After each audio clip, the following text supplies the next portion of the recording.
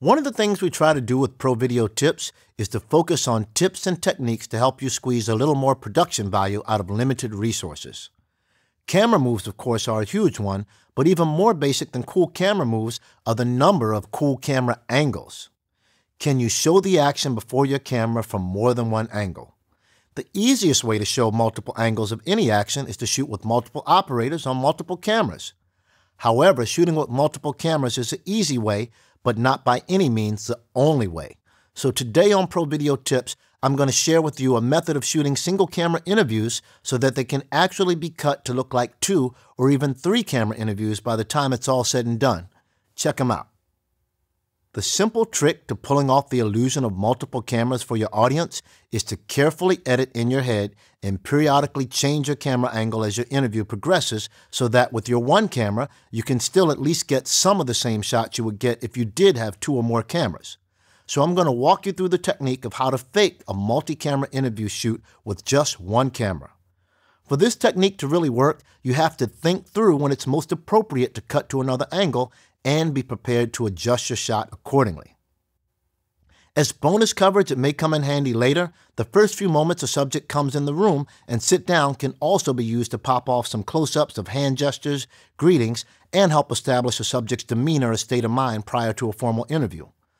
Only you can decide whether it's fair or appropriate to show your subject beforehand, but nervousness, confidence, concern, or other emotional states are often more apparent in people's less guarded body language in the moments just before a formal interview starts. Again, our goal here is to capture as many visual aspects of this conversation as possible with only one camera. Now, when it comes to shooting our main interview, we aren't going to do too much differently than normal. When it's time to dive into the interview itself, we're going to stick with a fairly traditional medium shot.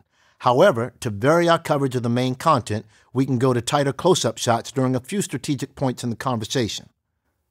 I say strategic because the close up is our power shot. It's the strongest emotional tool we have in our interview composition tool belt, so we only want to use it during the strongest points of our content. So every time our subject is making a key point or the conversation gets to its most dramatic or emotional points, we want to do a dramatic zoom in while they're talking or a quick punch in just before they answer and then hold on that tighter shot for the drama. When the drama subsides or when the motion of the moment is reset by a new line of questioning, we can then pull back out so that when the next dramatic moment comes, we'll still have that close up in our back pocket to go to. So now we can check off our medium shots and close ups. Now, a riskier variation of faking multi camera coverage for interviews is to periodically reset your entire camera position. By shooting from a more extreme angle than the normal frontal, medium, and close ups we're used to, it really helps to sell the audience that the project was covered with more than one camera.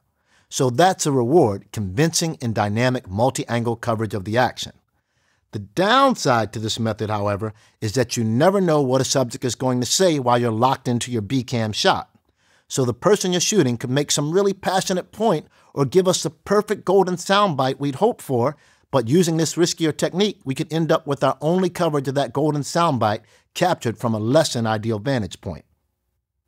Generally, if someone is making a strong point or delivering an emotional moment, we usually want to capture it from a more traditional frontal viewpoint with a strong emotional eyeline that connects with the audience.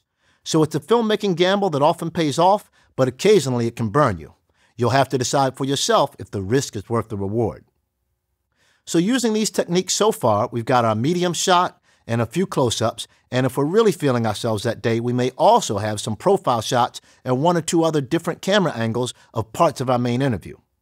However, this technique of faking, or as I prefer to think of it, creating the illusion of multi camera coverage, can be entirely pulled off immediately after you shoot your main interview. So, in the next movie, I'll break down exactly how to do it all after the fact.